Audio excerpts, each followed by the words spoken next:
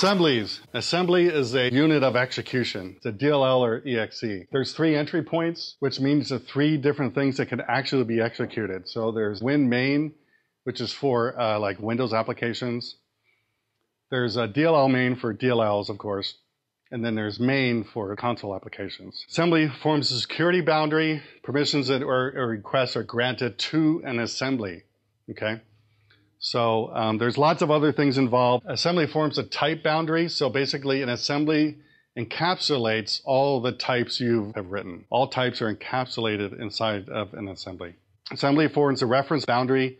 Uh, resources can be private or exposed from the assembly. So meaning somebody was saying common code. Most everything should be common so it can be reused. It forms a boundary on top of your types that meaning code can be either exported through the assembly, meaning other people can use it or not. And assembly forms a versioning boundary. Microsoft has a different way of versioning things. It's not the file version you guys are used to.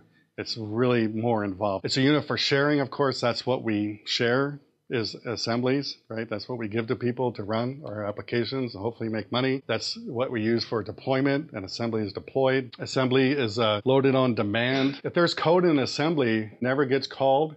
If that code references another DLL or assembly, you don't even need to ship it. In the old days, if you referenced anything, it would have to be on the machine, or guess what? Your program takes an entire dive. In .NET, it doesn't work like that. Everything's loaded on demand, and you can actually uh, run different versions of the same code side by side with the um, GAC and true .NET versioning uh, that's totally possible, not that I've seen a lot of people do it. And you can run multiple versions at the same time. All assemblies consist of four elements most of the time, okay? And we're actually going to look at these in Linux demo. Contains a manifest, which basically self-describes the assembly. So anybody can look at this manifest. Contains the type metadata, which is the information about the types that are encapsulated inside the assembly. Includes the IL or MSIL, which is the compiled code uh, that your compiler does and also contains all your resources too. Like I keep saying, strings, icons, media, files, and things like that. You can embed up in the assembly, right? So this is what a single module assembly looks like in .NET. There actually is a multi-module assembly, which I've never seen anybody do. Every assembly has an assembly module, which if you come from VB6 days, uh, it's not a VB module, okay? It's an assembly module, it's different. The first thing in the assembly, which you're actually going to see, is the assembly manifest uh, which, like I said, makes an assembly self-describing, which has become from the older way of COM way of programming. It's kind of like type library. We also have a module manifest. So there's an assembly manifest and a module manifest. And then, of course, your assembly contains all of your types, which are the classes you've written or exposed or whatever. Your resources, which you talked about, user-defined types, which are called structures. Manifest contains the assembly name, the version number, the culture information, and the strong name information, which is the digital signature, which comprises uh, the .NET version of an assembly. This is how it, you can have two assemblies named the exact same thing, but if you change just one of these things, it's a completely different version and can run in the GAC side by side with the old version. This is a true versioning in .NET because it can't not be duplicated. It contains all the files in the assembly, the reference information, and information on uh, resourced uh, outside uh, things that the assembly uses, which you're going to see in the demo. So this is the demo. This is a, a program that comes with the SDK called ILDASM, which we're going to look inside the assembly manifest. Uh, you can search for it is the easiest way I find it. And I'm actually going to look at my open source assembly, which you can get off codeplex.com. And when you bring it up, the first thing it says right up here in your assembly is the manifest. So that's what we're going to take a look at first. So the very first thing at the top of your manifest is actually the external calls it's doing to the Windows APIs are right here, very top. So anybody looking at this knows exactly what Windows API uh, DLLs it's calling. It also has a, uh, a, public key token, the MS Core library, which is the system library in .NET. And here's all of this stuff that uh, I'm using from my assembly. So you can see here system.core, system.xml, system.web, system.webforms, system.web.services.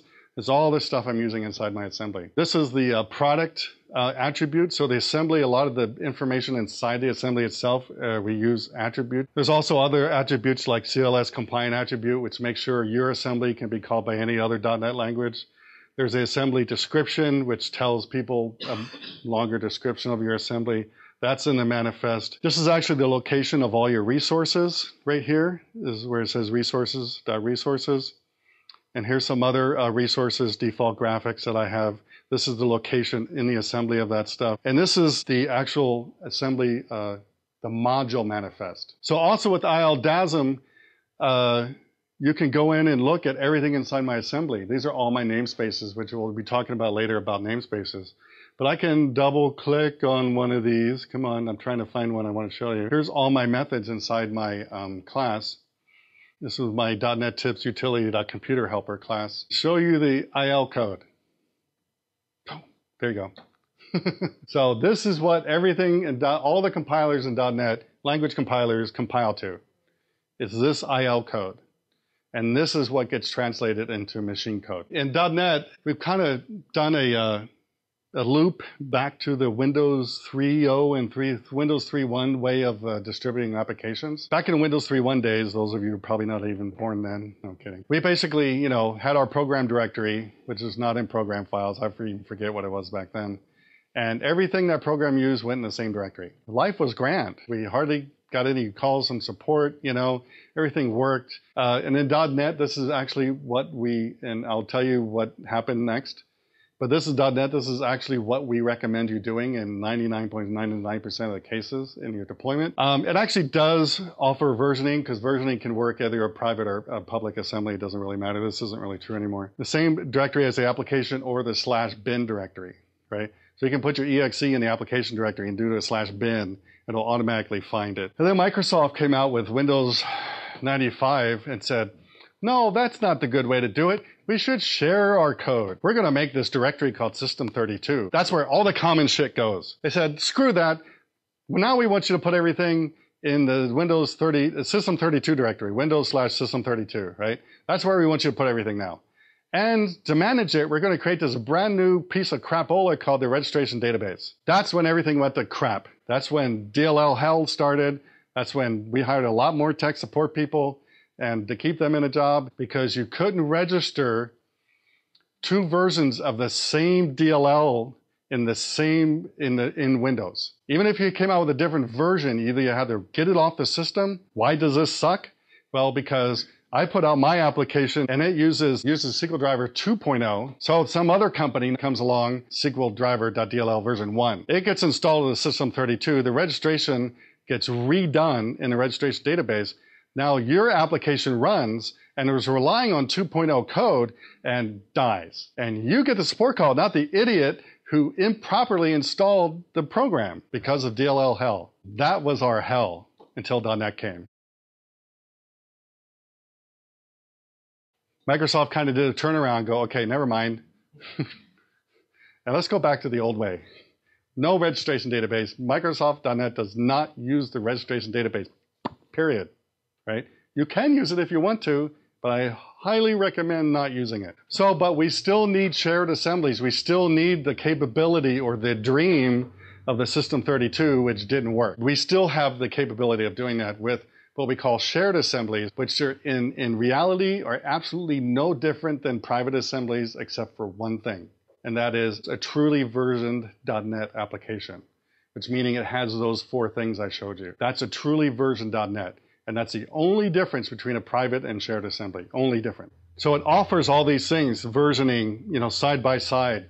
And the way all this works is there's a special directory, Windows now called uh, assemblies, and that's the GAC. 99.9999% of the component, the DLL uh, assemblies I've written have not done this because of the DLL hell. When you do those four things, it's what we call a strong named assembly, right? And that's a requirement to go into the GAC the Global Assembly Cache, which is the .NET version of the System 32. The other reason we do strong name is to prevent something we call spoofing. I recommend in my coding standards talk, and, and I've forced my work to do it, is we strong name everything. And we never put it in the GAC. We do it for that one reason. And this is kind of what the Global Assembly Cache looks like.